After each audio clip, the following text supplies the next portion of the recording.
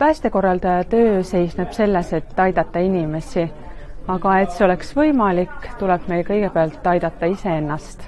ma tean, et minu kollektiiv toetab mind, aga samas on mul alati keerulises olukorras võimalik saada kiiresti professionaalset abi. häirekeskuse põhiülesanne on inimesi aidata. aga selleks, et me saaksime teisi aidata, peame ise olema vaimselt tugevad. see on niisugune projekt, mis ei lõpe kunagi